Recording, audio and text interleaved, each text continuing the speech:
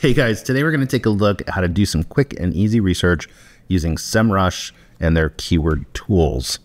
All right, so in the past, we've looked at some other ways to do keyword research, which is important for both paid search as well as organic search. So if you're going to be building content, it's important to know, you know, what keywords people are searching for, what phrases they're searching for, what types of content they're searching for.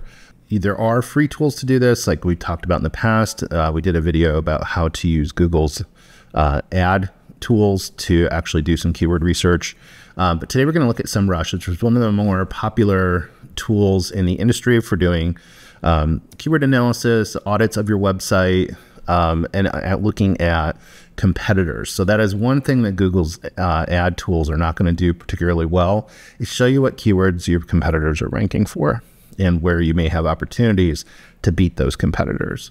So let's dive in, take a quick look at SEMrush, which by the way I always thought was SEM Rush, but apparently the people at the company, you know, call it SEMrush. But who am I to tell them what to call our company? Um, so the tool that we're going to look at today first is the Keyword Magic tool. And so what you're going to do in here, and I'm just using the free version, by the way, of SEMrush today because um, I have client information and a bunch of the other one in our account, uh, which I can't show you. Sorry. Um, so let's uh, say that we're building, we're going to be working on a uh, pressure washing company. So we're going to just look at pressure washing.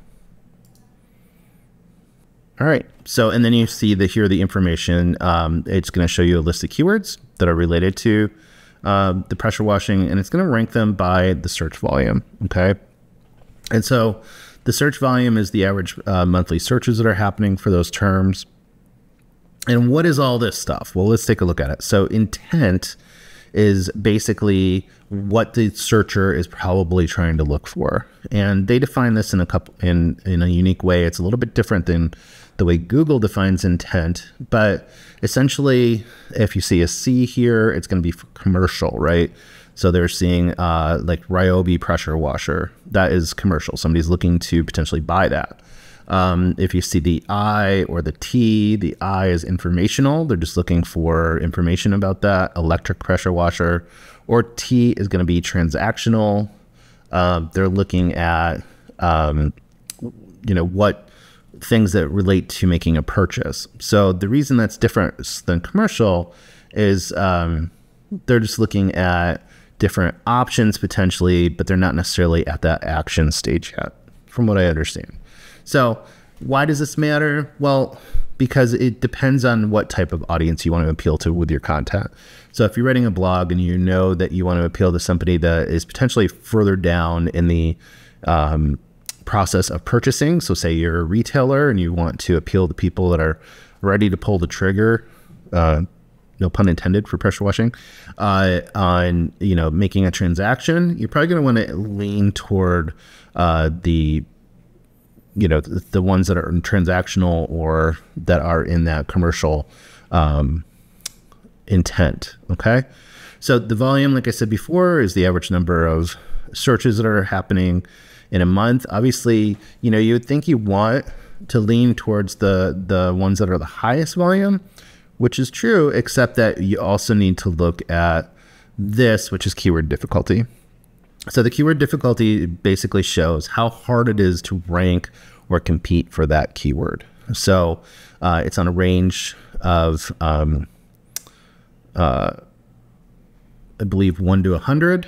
And so as you get closer to 100, it becomes much more difficult to rank for that. So um, you're going to be competing against major retailers. You're going to be competing against sites that have been around for a long time that get a lot of traffic as you get up into these. So you're going to want to potentially look at okay volume keywords that are not as difficult to rank for. So for instance, like this pressure washing services is a 33 compared to a 79 up here. So uh, maybe that's something, and it still gets over 22,000 searches.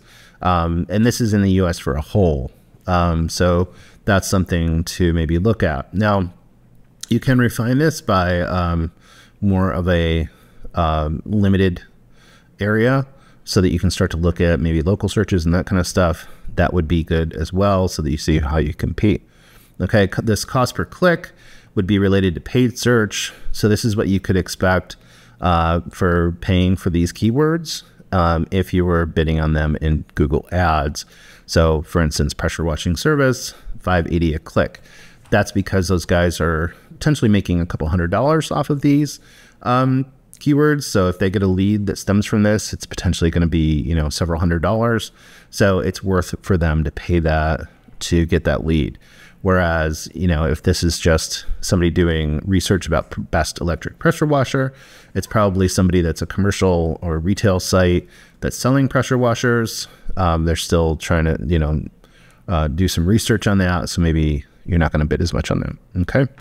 Um, and then the uh, the SERP features pay uh, metric is really about like all the stuff that's going on on the page. So you know, is there a map pack? Is there images? Is there shopping going on? All the stuff that pushes your keywords or your SERPs down on the page, clutters up the page.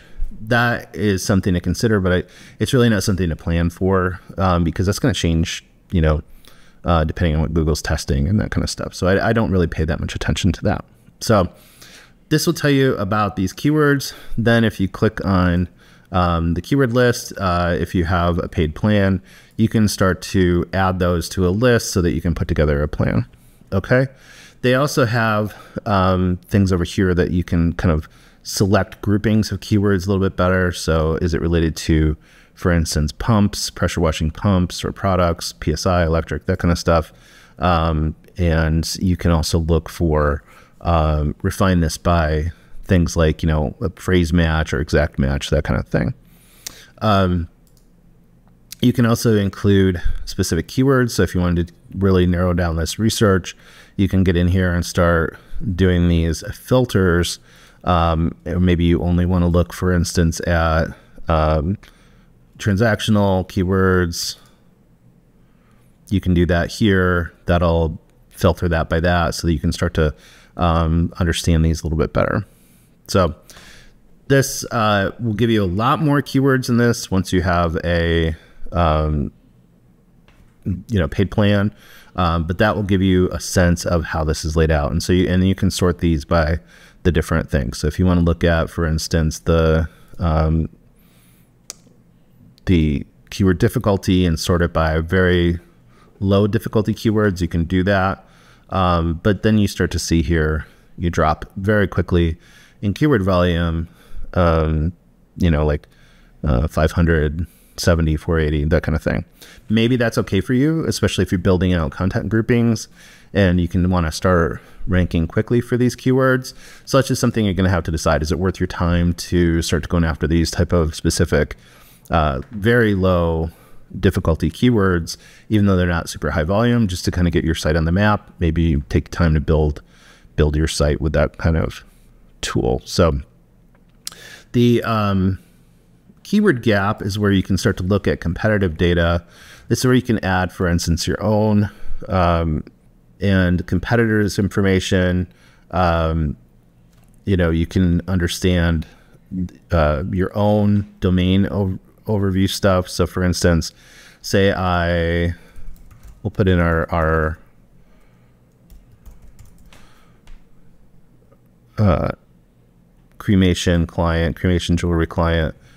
Um, this gives you the overall information for the domain, right? And so you can start to see how they're ranking.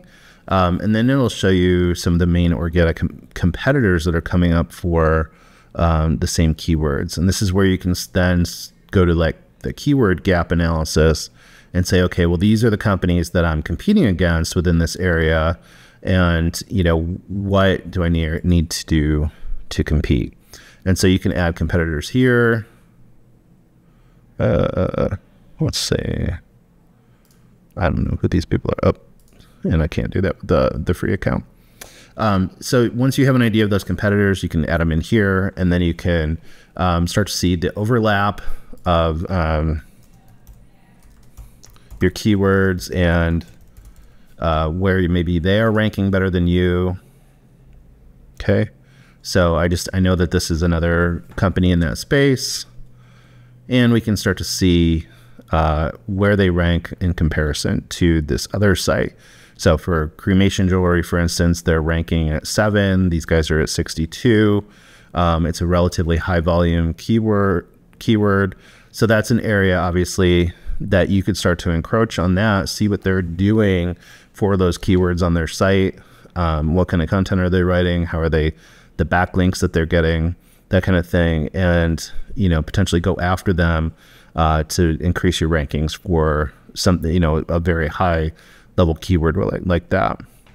Similarly, you know, for all of these different uh, keywords here, um, you see that these guys, they're a much larger site um, and they have, you know, very high rankings in comparison to uh, these guys.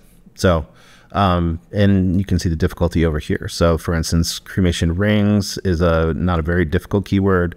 This is something that they could go after pretty easily, probably to go from 77 to um, 5. And you can take a look at the URLs here and say, okay, well, we want to see what kind of content they have. You can then assess and analyze that content and see if it's something that you can compete with them with. Okay. So that's just a really quick look at some of the keyword stuff that you can do uh, with SEMrush. Uh, we'll get into more depth with this, like the backlink gap analysis, the overall traffic analysis, and that kind of stuff.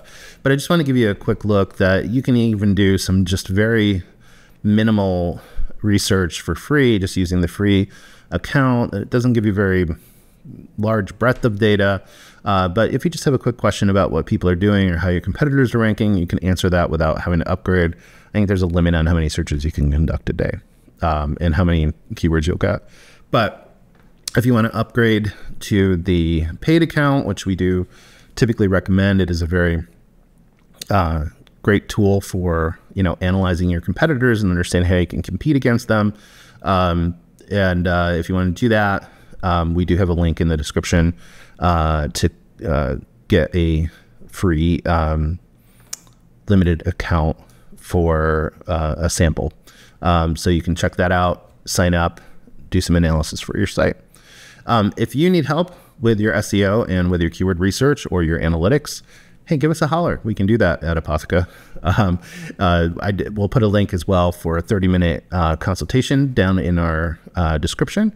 So you can give us a holler. We'll talk to you about questions you may have and see how we can help you with your marketing programs. Uh, if you have questions about SEMrush or any of the other things we talked about today, like keyword analysis or keyword um, uh, research, uh, please feel free to comment. We'd love to talk to you. We answer those as quickly as we can. So have a great day and we'll talk to you soon. Thanks.